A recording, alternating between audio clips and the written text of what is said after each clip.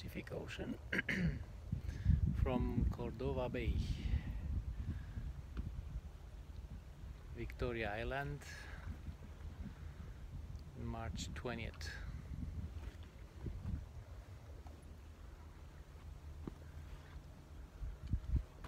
A very nice and